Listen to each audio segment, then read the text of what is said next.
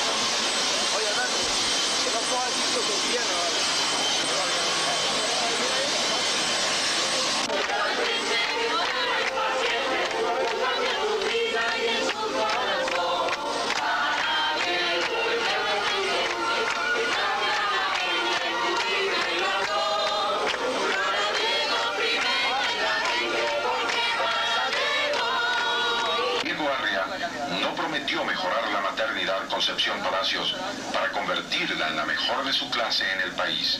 Diego se atrevió a hacerlo. Yo sería lo que hice en Caracas, empleado en toda Venezuela.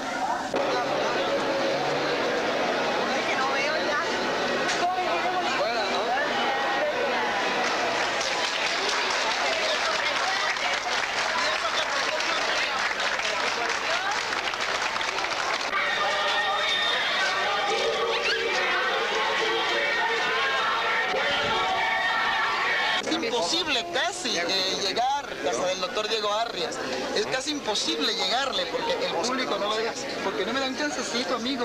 ¿Ah? Gracias, mi querido amable. ¿Me permite? Es que no me lo dejan, pero denme un chancecito. Mira, más besito, pero bendito sea Dios. Esto es horroroso. Bien, la señora Tencio. Señora Tencio, ¿usted no se pone brava cuando tantos besitos para su marido? No, al contrario, me halaga. Lo siento.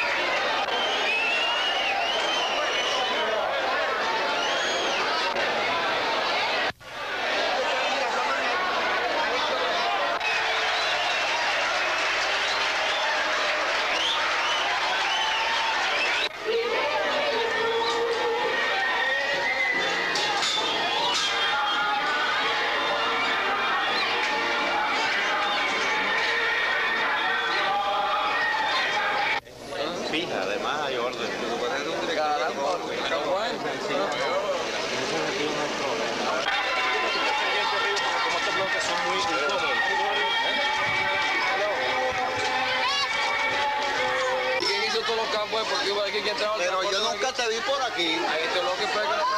¿Quién hizo los campos deportivos? Ah. ¿Quién trajo el transporte? Eso lo hizo Diego Arria. Ah, bueno. Pero ahora sí te veo. Porque ahora sí candidato a presidente.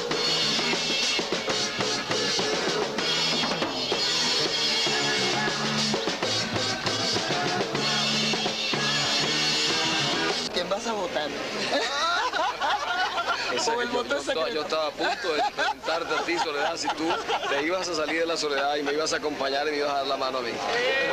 que